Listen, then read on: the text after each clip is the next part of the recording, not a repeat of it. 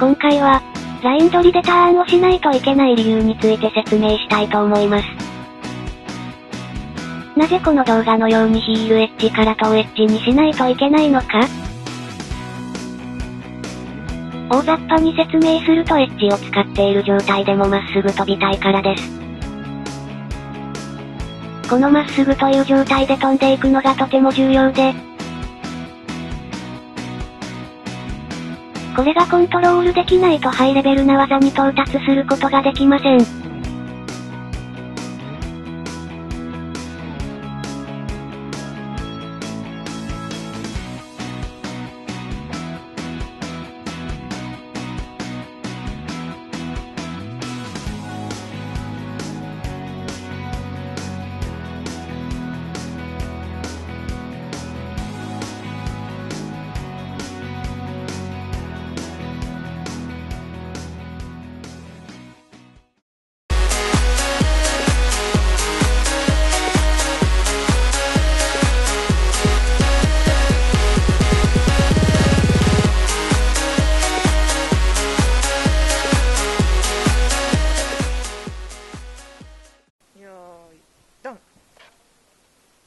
さんこんにちは。